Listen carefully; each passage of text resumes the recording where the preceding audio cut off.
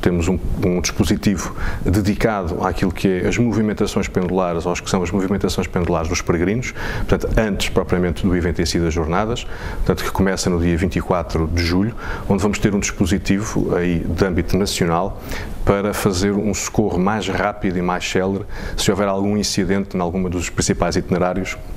rodoviários ou ferroviários, eh, se houver algum incidente, porque esta movimentação eh, e este número grande ou maior número de peregrinos vai, obviamente, ter aqui um impacto direto nas rodovias e, portanto, carece desta preocupação. Depois, eh, também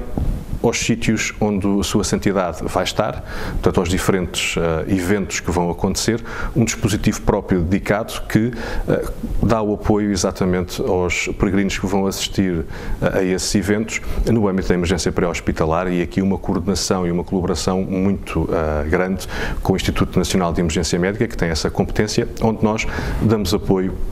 através dos meios dos bombeiros a esse dispositivo. Este plano prevê exatamente uma flexibilidade e três níveis, portanto um nível amarelo, um nível laranja ou um nível vermelho, 1, 2 e 3, em que há mais ou menos recursos consoante o nível que estamos. Portanto, há um primeiro nível que começa no dia 24 eh, e acaba no dia 28 de julho, portanto aí o nível amarelo, com menos meios afetos, portanto começamos aqui a arrancar com o dispositivo. Depois temos o nível 3 que começa no dia 29 de julho e termina no dia 30 eh, 31 e depois a partir do dia 1 até o dia 6 é o dia em que temos o maior número de meios envolvidos sendo que o maior número de meios será no próprio dia 5 e 6, com cerca de 2.500 operacionais dedicados só às Jornadas Mundiais da Juventude. Há meios que estão alocados àquilo que é o DECIR, que é um planeamento que já estava feito, e portanto estamos agora na maior fase de empenhamento, com cerca de quase 14 mil operacionais, diferentes entidades, não são só bombeiros, há diferentes entidades, o grosso de parte dos bombeiros, desse efetivo, mas este efetivo para as jornadas é um efetivo diferente, portanto não há aqui